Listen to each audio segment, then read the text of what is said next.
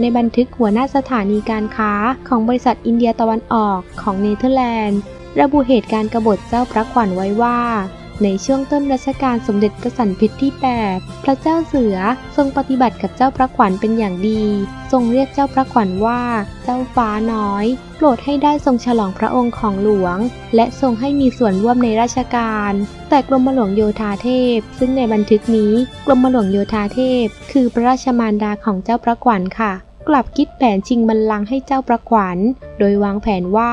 เมื่อพระเจ้าแผ่นดิน เสด็จพระราชดำเนินมาบนพระราชยาน เพื่อไปถวายความเคารพ พระบรมศพสมเด็จพระเพทราชาในเดือน 5 ก็จะได้โอกาสที่จะลอบยิงปืนปลงพระชน และเจ้าพระขวัญจะทรงทำหน้าที่นี้ โดยใช้ปืนพกที่ทรงพกติดตัวไปด้วยขณะที่ทรงม้า แต่นางกำนันของกรมหลวงโยธาเทพนำแผนการนี้ไปกราบทูลพระเจ้าเสือให้ทรงทราบ